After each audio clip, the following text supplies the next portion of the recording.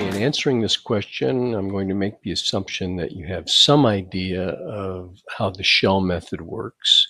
This is the basic definition of the shell method.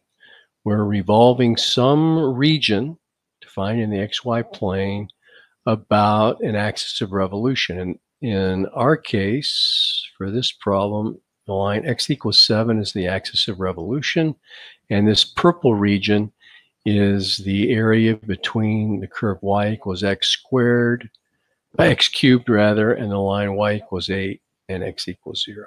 So for the shell method, we want to think of a rectangle, typical rectangle that's parallel to the axis of revolution.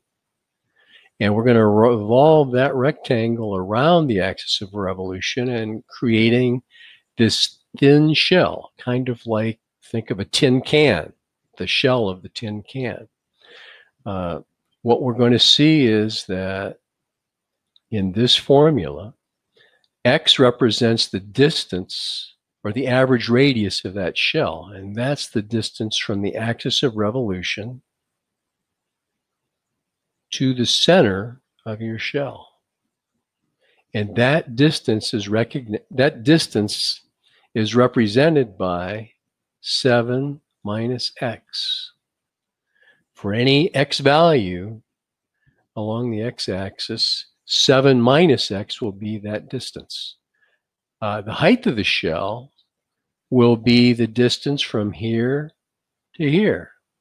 Well, this point right here has a coordinate uh, x f of x, which is x cubed. So the this height right here could be represented by 8 top minus bottom f of x, or 8 minus x cubed. So the integral looks like this. We could put the 2 pi out front. We're integrating from 0 to 2.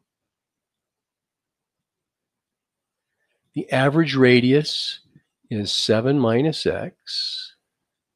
The height is 8 minus x cubed. And the thickness of the shell, which is this distance right here, is represented by dx. And hopefully you've had some introduction to how uh, a Riemann sum is used to end up with this formula right here. Okay, now I'm going to share my screen real. Well, I don't need to share my screen. Uh, here's the video. Maybe I do need to share my screen.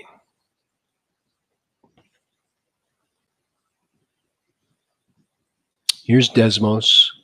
I'm going to paste this link to this graph into the answer, but here's the integral setup like I did on uh, uh, the whiteboard. And I'll send this link along in the answer to the problem. Okay?